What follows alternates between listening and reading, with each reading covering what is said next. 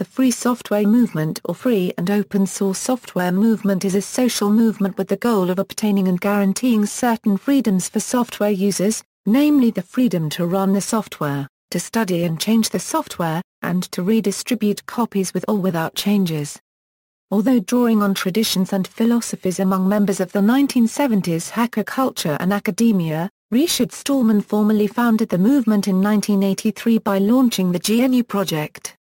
Stallman founded the Free Software Foundation in 1985 to support the movement. Philosophy The philosophy of the movement is that the use of computers should not lead to people being prevented from cooperating with each other. In practice, this means rejecting proprietary software, which imposes such restrictions, and promoting free software, with the ultimate goal of liberating everyone in cyberspace a euro that is, every computer user. Stallman notes that this action will promote rather than hinder the progression of technology, since it means that much wasteful duplication of system programming effort will be avoided. This effort can go instead into advancing the state of the art. Members of the free software movement believe that all users of software should have the freedoms listed in the free software definition. Many of them hold that it is immoral to prohibit or prevent people from exercising these freedoms and that these freedoms are required to create a decent society where software users can help each other, and to have control over their computers. Some free software users and programmers do not believe that proprietary software is strictly immoral, citing an increased profitability in the business models available for proprietary software or technical features and convenience as their reasons. While social change may occur as an unintended byproduct of technological change, advocates of new technologies often have promoted them as instruments of positive social change. This quote by San Jose State professor Joel West explains much of the philosophy, or the reason that the free source movement is alive if it is assumed that social change is not only affected, but in some points of view, directed by the advancement of technology, is it ethical to hold these technologies from certain people? If not to make a direct change, this movement is in place to raise awareness about the effects that take place because of the physical things around us. A computer, for instance, allows us so many more freedoms than we have without a computer, but should these technological mediums be implied freedoms, or selective privileges? The debate over the morality of both sides to the free software movement is a difficult topic to compromise respective opposition. The Free Software Foundation also believes all software needs free documentation, in particular because conscientious programmers should be able to update manuals to reflect modification that they made to the software, but deems the freedom to modify less important for other types of written works. Within the free software movement, the FLOSS Manuals Foundation specializes on the goal of providing such documentation. Members of the free software movement advocate that works which serve a practical purpose should also be free. Actions equals writing and spreading free software equals, the core work of the free software movement focused on software development. The free software movement also rejects proprietary software, refusing to install software that does not give them the freedoms of free software. According to Stallman, the only thing in the software field that is worse than an unauthorized copy of a proprietary program, is an authorized copy of the proprietary program because this does the same harm to its whole community of users, and in addition, usually the developer, the perpetrator of this evil, profits from it equals building awareness equals, some supporters of the free software movement take up public speaking, or host a stall at software-related conferences to raise awareness of software freedom. This is seen as important since people who receive free software, but who are not aware that it is free software, will later accept a non-free replacement or will add software that is not free software. Equals ethical equality equals, Margaret S. Elliott, a researcher in the Institute for Software at the University of California Irvine, not only outlines many benefits that could come from a free software movement, she claims that it is inherently necessary to give every person equal opportunity to utilize the Internet, assuming that the computer is globally accessible. Since the world has become more based in the framework of technology and its advancement, creating a selective Internet that allows only some to surf the web freely is nonsensical according to Elliott. If there is a desire to live in a more coexistent world that is benefited by communication and global assistance, then globally free software should be a position to strive for, according to many scholars who promote awareness about the free software movement. The ideas sparked by the GNU Associates are an attempt to promote a cooperative environment that understands the benefits of having a local community and a global community. Legislation A lot of lobbying work has been done against software patents and expansions of copyright law.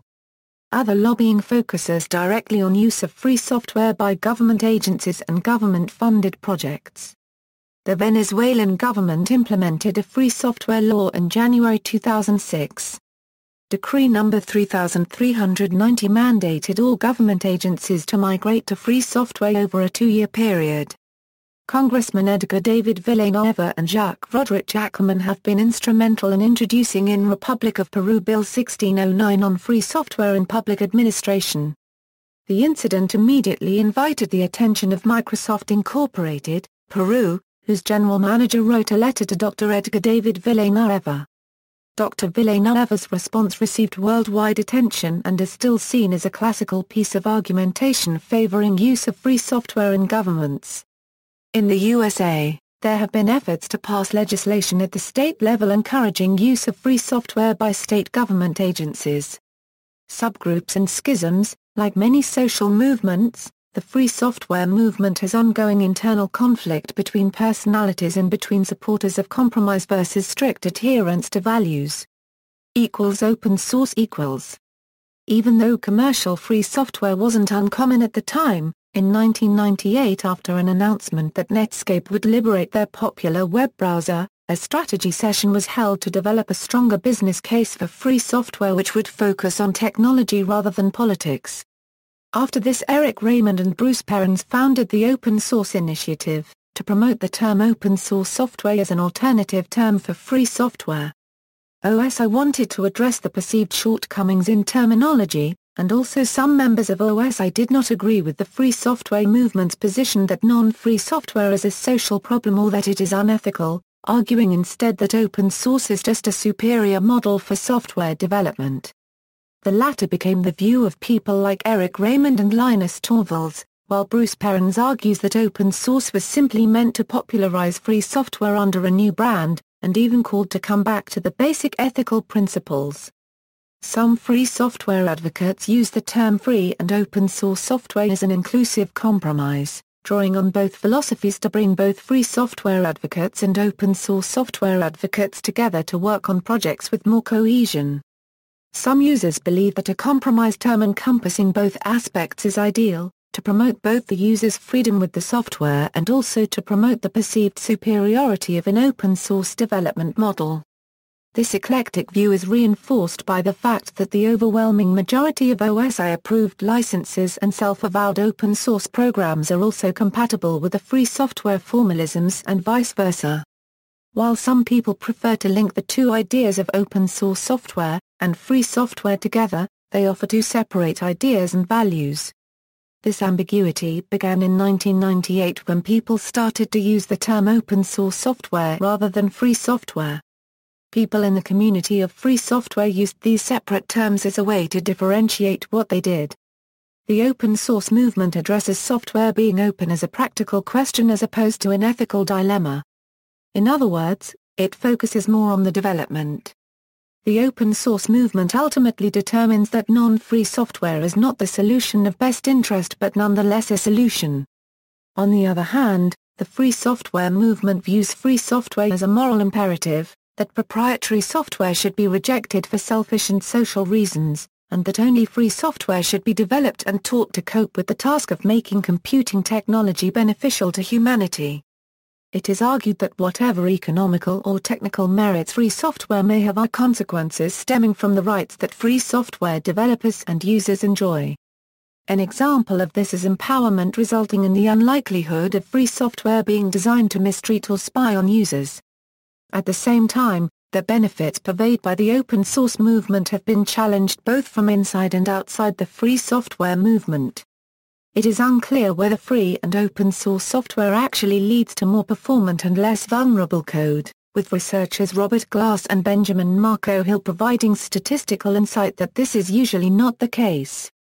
Regarding the meaning and misunderstandings of the word free, those who work within the free software camp have searched for less ambiguous terms and analogies like free beer versus free speech in efforts to refine their definition so there is no confusion concerning free software profitability. The loan adjective libre has gained some traction in the English-speaking free software movement as unequivocally conveying the state of being in freedom that free software refers to, although it is used in an explanatory or alternative fashion and is not considered schismatic. In fact, Free software has always been referred to using the word Libre and its translations in languages with such words. The free software movement replies that while free is prone to confuse the novice because of its two intuitive meanings at least one of them is the right one, and it is hard to get it wrong once the difference has been learned. It is ironically noted that open source also leads to a misunderstanding in which people think source code disclosure is enough to meet the open source criteria. In India, where the free software movement has gained a lot of ground and the government having adopted a policy in this regard, the term Swatantra and its variants are widely used as a replacement of the term free. The switch from the free software movement to the open source movement has had negative effects on the progression of community, according to Christopher Kelty who dedicates a scholarly chapter to the free software movements in theorizing media and practice. The open source movement denies that selectivity and the privatization of software is unethical. Although the open source movement is working towards the same social benefits as the free software movement, Kelty claims that by disregarding this fundamental belief of the free software advocates, one is destroying the overall argument. If it can be claimed that it is ethical to limit the Internet and other technology to only users who have the means to use this software, then there is no argument against the way things are at the moment. There is no need to complain if all morality is in effect. Although the movements have separate values and goals, people in both the open source community and free software community collaborate when it comes to practical projects. By 2005, Richard Glass considered the differences to be a serious fracture, but vitally important to those on both sides of the fracture, and of little importance to anyone else studying the movement from a software engineering perspective since they have had little effect on the field. Equals Stallman and Torvalds equals, the two most prominent people associated with the movement, Richard Stallman and Linus Torvalds, may be seen as representatives of the value-based versus apolitical philosophies, as well as the GNU versus Linux coding styles. Paradoxically as it seems, it is the symbiosis of their works that make up a complete operating system known as GNU Linux, or just Linux. In the GNU Linux naming controversy the FSF argues for the term GNU Linux because GNU was a long-standing project to develop a free operating system, of which they say the kernel was the last missing piece. Measures of Progress, Ohloh, a web service founded in 2004 and launched in 2006, monitors the development activity in the free software community, providing detailed metrics and quantitative analyses on the growth and popularity of projects and programming languages. Criticism and controversy. Equals Should principles be compromised?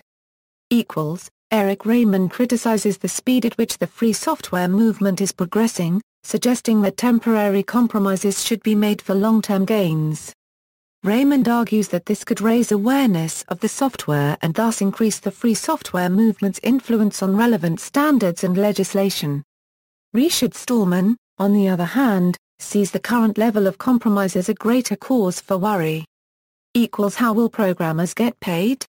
Equals, Stallman said that this is where people get the misconception of free there is no wrong in programmers requesting payment for a proposed project restricting and controlling the user's decisions on use is the actual violation of freedom. Stallman defends that in some cases, monetary incentive is not necessary for motivation since the pleasure in expressing creativity is a reward in itself. Equals viral licensing equals, the free software movement champions copyleft licensing schema. In its strongest form, Copyleft mandates that any works derived from copyleft licensed software must also carry a copyleft license, so the license spreads from work to work like a computer virus might spread from machine to machine. These licensing terms can only be enforced through asserting copyrights. Critics of copyleft licensing challenge the idea that restricting modifications is in line with the free software movement's emphasis on various freedoms, especially when alternatives like MIT, BSD, and Apache licenses are more permissive.